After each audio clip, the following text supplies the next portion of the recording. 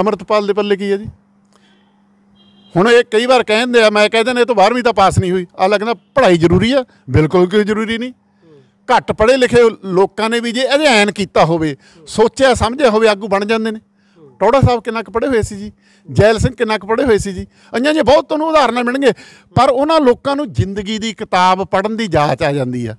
ਸੱਚ ਇਕੱਠਾ ਕਰਨ ਦੀ ਜਾਂਚ ਆ ਜਾਂਦੀ। ਇਹਦੀ ਪਹਿਲੀ ਇੰਟਰਵਿਊ ਹੋਈ ਥਲੀ ਨਾਲ। ਉਹ ਕਹਿੰਦਾ ਜੀ, ਹੁਣ ਤੱਕ ਕੋਈ ਕਿਤਾਬ ਪੜ੍ਹੀ ਆ? ਕਹਿੰਦਾ ਨਾ, ਕਿਤਾਬ, ਕਤੂਬ ਤਾਂ ਨਹੀਂ ਪੜ੍ਹੀ।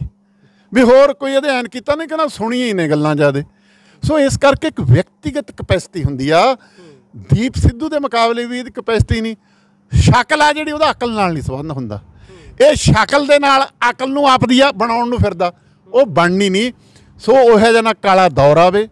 ਨਾ ਸਟੇਟ ਇਹ ਚਾਹੁੰਦੀ ਆ ਵੀ ਸਿੱਖਾਂ ਨੂੰ ਸਰੀਰਕ ਤੌਰ ਤੇ ਖਾਤਮੇ ਦੇ ਰਾਹ ਪਈਏ। ਉਹ ਚਾਹੁੰਦੀ ਆ ਸਿੱਖਾਂ ਨੂੰ ਆਪਦੇ ਵਰਗਾ ਬਣਾ ਲਓ। ਇਹਨਾਂ ਦਾ ਰਿਸਪੌਂਸ ਸਿਸਟਮ ਬਦਲ ਦਿਓ। ਇਹਨਾਂ ਦਾ ਸੋਚਣ ਦਾ ਤਰੀਕਾ ਬਦਲ ਦਿਓ। ਇਹਨਾਂ ਦਾ ਇਤਿਹਾਸ ਬਾਰੇ, ਸਿੱਖੀ ਬਾਰੇ ਨਜ਼ਰੀਆ ਬਦਲ ਦਿਓ। ਤੇ ਬਦਲ ਰਹੇ ਨੇ। ਤੇ ਮੋਦੀ ਨੇ ਐਨ ਸ਼ਾਨਦਾਰ ਸਪੀਚ ਦਿੱਤੀ ਆ। ਸਾਰੇ ਸਿੱਖ ਇਤਿਹਾਸ ਦਾ, ਸਿੱਖੀ ਸਿਧਾਂਤਾਂ ਦਾ ਬ੍ਰਾਹਮਣੀਕਰਨ ਕਰਤਾ, ਰਾਸ਼ਟਰੀਕਰਨ ਕਰਤਾ, ਹਿੰਦੁਸਤਾਨੀਕਰਨ ਕਰਤਾ। ਕੋਈ ਬੋਲਿਆ ਉਹਦੇ ਖਿਲਾਫ? ਸੋ ਇਸ ਕਰਕੇ ਅੱਜ ਦਾ ਜਿਹੜਾ ਦੌਰ ਆ ਇਹਦੇ ਵਿੱਚ ਐਲੀਮੀਨੇਸ਼ਨ ਦੀ ਪੋਲਿਟਿਕਸ ਆ, ਜਿਹੜੀ ਖਾਤਮੇ ਦੀ ਪੋਲਿਟਿਕਸ ਆ। ਮੈਨੂੰ ਨਹੀਂ ਲੱਗਦਾ ਇੰਡੀਅਨ ਸਟੇਟ ਆ ਜਿਹੜੀ ਸਿੱਖਾਂ ਲਈ ਉਸ ਤਰ੍ਹਾਂ ਸੋਚ ਰਹੀ ਹੈ। ਕਿਉਂਕਿ ਜਿਹੜਾ ਇਹ ਭਾਰਤੀ ਜਨਤਾ ਪਾਰਟੀ, ਇਹਨਾਂ ਦੇ ਆਪਦੇ ਪੱਲੇ ਕੱਖ ਨਹੀਂ ਨਾ।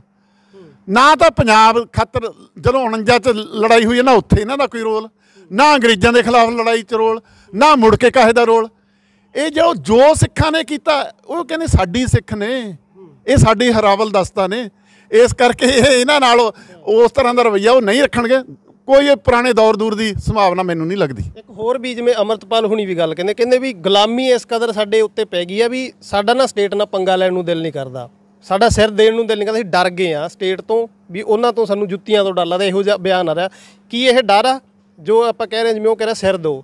ਆਪਾਂ ਕਹਿ ਦਿੰਦੇ ਨਹੀਂ ਸਟੇਟ ਬਹੁਤ ਸਟਰੋਂਗ ਆ। ਨਹੀਂ ਨਹੀਂ ਅਸਲ 'ਚ ਬਾਬਾ ਨਾਨਕ ਨੇ ਸਿਰ ਦਿੱਤਾ ਸੀ। ਸਿਰ ਦੇਣਾ ਲਈ ਤਿਆਰ ਰਹਿਣਾ ਪੈਂਦਾ। ਇੱਕ ਹੋਰ ਗੱਲ ਆ, ਲੜਾਈ ਜਿੱਥੇ ਲੜਦੀ ਆ, ਉੱਥੇ ਦ੍ਰਿੜਤਾ ਨਾਲ ਲੜਾਈ ਲੜਨੀ ਪੈਂਦੀ ਆ।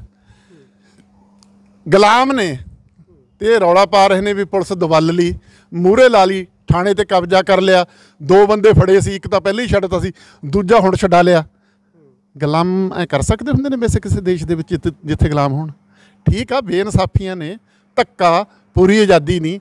ਸੋ ਇਹ ਜਿਹੜਾ ਪ੍ਰਵਚਨ ਆ ਨਾ, ਗੁਲਾਮ ਆ ਜੀ, ਹੋਂਦ ਦੀ ਲੜਾਈ ਆ ਜੀ, ਫਲਾਨਾ ਜੀ, ਇਹ ਐਵੇਂ ਸਾਰੀ ਸਲੋਗਨ ਮੰਗਰਿੰਗਾ ਨਾਰੇਬਾਜ਼ੀ ਆ।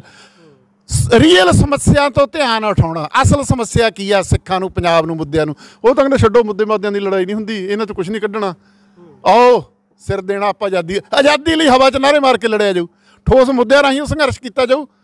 ਇਹ ਕਹਿੰਦੇ ਮੁੱਦਿਆਂ ਦੀ ਲੜਾਈ ਨਹੀਂ। ਹੁਣ ਮਾੜੀ ਜੀ ਇਹਦੇ ਚੁੰਡੀ ਵੱਧੀ। ਉਹਦੀ ਪਤਾ ਲੱਗ ਗਿਆ ਵੀ ਅੱਗ ਕੀ ਹੁੰਦੀ ਆ, ਬਸੰਤਰ ਕੀ ਹੁੰਦੀ ਆ।